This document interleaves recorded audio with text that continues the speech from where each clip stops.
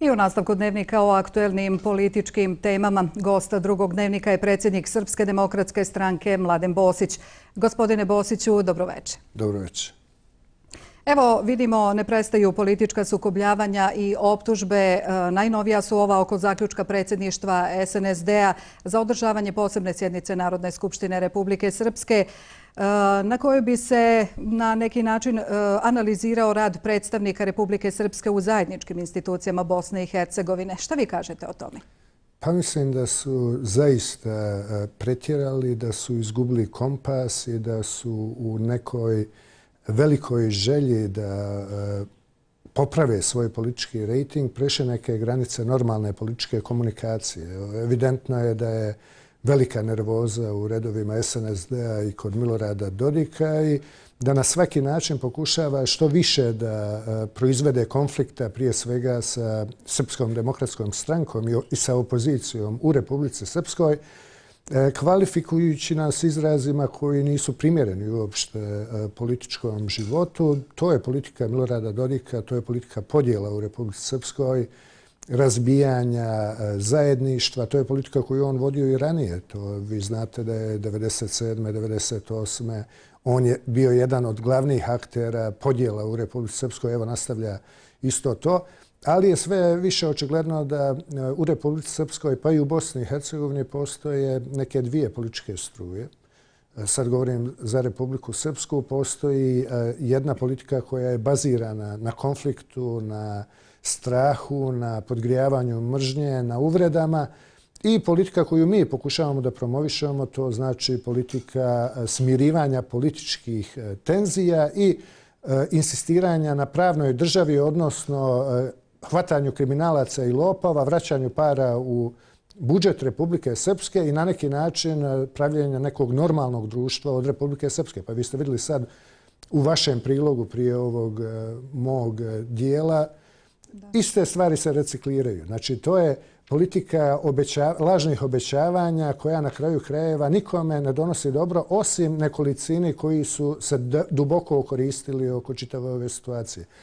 Znači, Nadna skupština e, će vjerovatno biti pokušana e, da se iskoristi za dalje produbljivanje jaza između e, dva politička bloka u Republike Srpskoj, a mi ćemo vidjeti na koji način da učestvujemo U tome nemamo ništa protiv da razgovaramo o svim političkim temama, ali ne mislimo da učestvujemo u naprijed pripremljenom linču, pogotovo ne od strane većine koja je na ovakav način formirana. Ova većina u Narodnoj skupštini je formirana političkom korupcijom. To već znaju i ptice na grani. Prema tome, učestvovati u nekoj predstavi izmišljenih laži i optužbi o prenosu nadležnosti, nikakve nadležnosti, mi u Sarajevu nismo prenijeli sa Republike Srpske na Sarajevo. Sve su insinuacije, optužbe, laži. Prema tome, vidit ćemo šta će.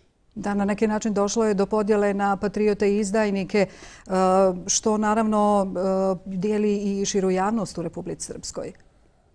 Pa, gledajte, oni to pokušavaju da svedu na patriote i izdajnike, pa svima je jasno da Srpska demokratska stranka ne može biti nikada na izdajničkoj strani kada je, su izdavani interesi Republike Srpske, uvijek je to radio SNSD i Milorad Dodik. Znači, od 1997. godine preko prenosa nadležnosti, preko legalizacije suda i pravosuđa Bosne i Hercegovine na njihovim rukama u, u predstavničkom domu parlamentarne skupštine, skupštine Bosne i Hercegovine. Znači, e, to je nešto što ne vjerujem da mogu ikoga više ubijediti u tako nešto. U svakom slučaju to će izaći na vidjelo. Bilo te rasprave u Narodnoj skupštini ili ne bilo, mi ćemo se potruditi da napravimo čitav dosije šta se dešavalo u zajedničkim organima od njihovog formiranja do sada, koji je u stvari narušavao interese Republike Srpske i možda to nije i loše da se na kraju krajeva čuje u javnosti. Ali u režiranom događaju, u režiji Milorada Dodika ili Emira Kusturice sigurno nećemo učestvati. E, gospodine Bosić, ulje na vatru, usijanu atmosferu, e, dodato je nakon odbijanja osnovnog suda u Banja Luci da prihvati vašu listu svjedoka u tužbi e, predsjednika Dodika protiv vas, nakon čega se u javnosti oglasio jedan od predloženih svjedoka, to je gospodin Gordon Milinić. Da li ste očekivali ovakvo burno reagovanje nakon njegovog svjedočenja i ispitivanja? Pa, gospodin Milinić i ja se znamo dugo vremena, još iz vremena kad smo obojica radili u Ministarstvu inostranih poslova. Gospodin Milinić je i dan danas e, službenik Ministarstva inostranih poslova na e, visokoj funkciji u tom ministarstvu e, i on je bio jedan od svjedoka koji je trebao da se pojavi na tom procesu tužbe Milorada Dodika protiv mene za klevetu. Tu je bilo još mnogo svjedoka koji bi bili veoma interesantni za javnost. Kada su ti svjedoci odbijeni od strane suda, Milnić je očito odlučio da u javnosti kaže šta bi to rekao na sudu. Ja mislim da je velika šteta što i ostali svjedoci neće imati priliku da se obrate. Bio je tu recimo na primjer jedan e, ministar e, vlade Republike Srpske iz ratnog perioda koji je e, bio spreman da potvrdi šverc Milorada Dodika za vrijeme rata. To se zove ratno profiterstvo. Znači, čovjek je bio spreman da potvrdi e, ratno profiterstvo Milorada Dodika, čovjeka koji je danas predsjednik Republike Srpske i koji e, pokušava da sebi i ostalima iz Narodne skupštine obezbijedi posebne zasluge za stvaranje Republike Srpske. Pa čovjek se bavio ratnim profiterstvom dok su ljudi ovdje proljevali krv i ginuli. Znači, e, taj svjedok je bio vrlo interesantan. Bilo je neki svjedoka koji su bili iz obavještajne zajednice, koji znaju mnogo stvari i koji su ispitivali te stvari ranije. Bilo je mnogo ministara koji su e, iz sadašnje vlasti, koji su trebali da odgovore na pitanje na koji način su e, vršeći funkciju dopustili da se pokradu milioni i milioni iz budžeta Republike Srpske i bez ikakve sumnje pod pokroviteljstvom vrha Republike Srpske, odnosno prvog čovjeka Milorada Dodika. Ja mislim da će biti još e, interesantne stvari. Mi u novembru imamo nastavak tog suđenja. Dokumenti su e, prihvaćeni, znači sve što smo od dokumenta dali, sud je prihvatio.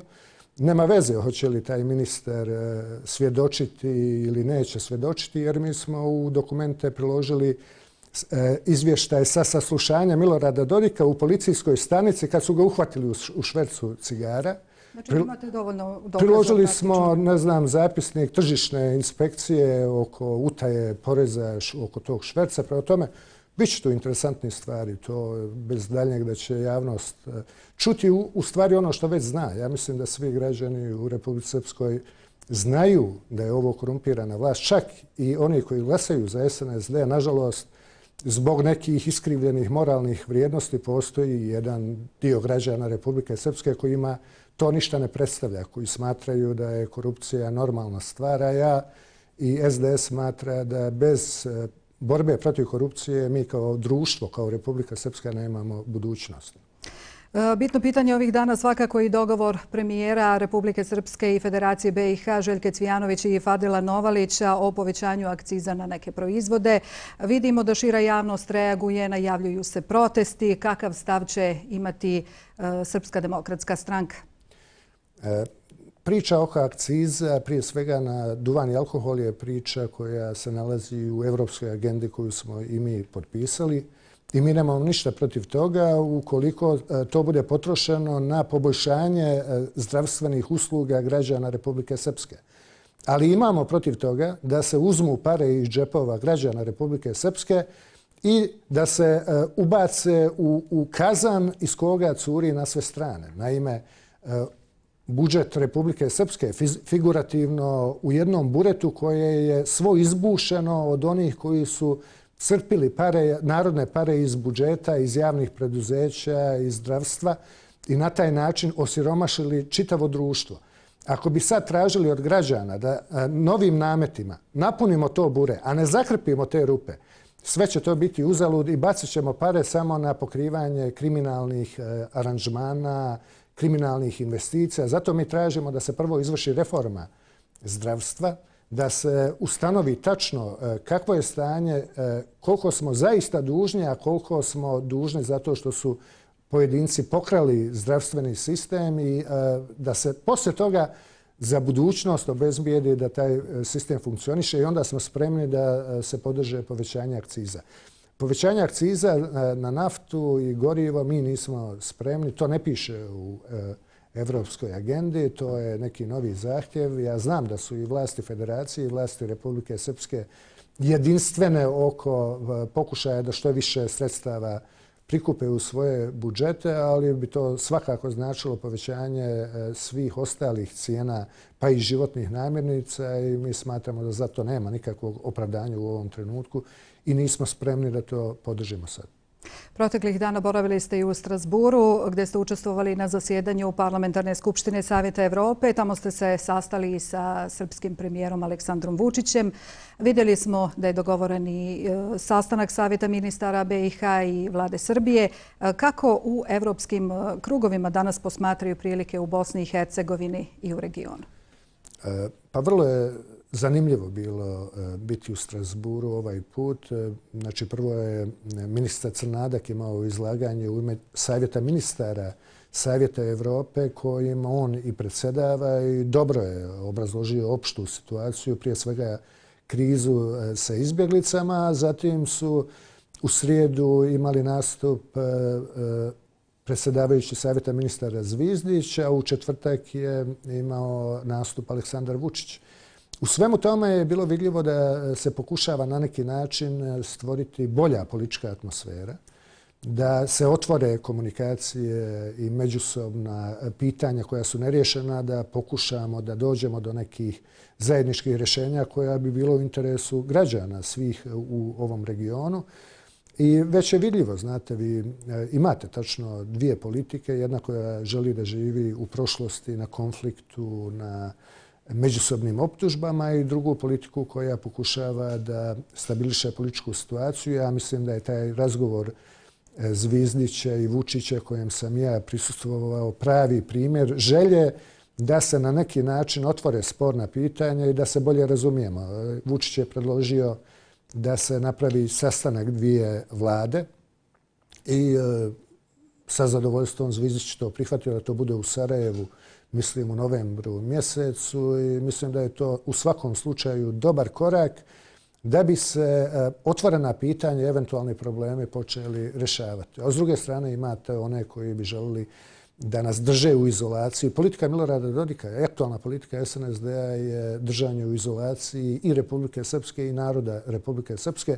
Niko, dok to rade, ne pričaju uopšte o stanju u poljoprivredi, ne pričaju o nezaposlenosti. Čuli ste Milorada Dodika koji večeras tvrdi da u stvari nema nezaposlenosti, nego da su ljudi lijeni pa neće da rade. Pa on misli da bi doktori, inženjeri, ekonomisti i oni koji su završili razne škole trebali u Trebinju, u privatnim eh, vinogradima da beru grožđe pa da žive od toga. Znači imamo jednu totalno nerealnu politiku eh, koja uopšte nije zainteresovana za stvarne probleme građana. Gospodine Bosiću, hvala vam na razgovoru. Hvala vama.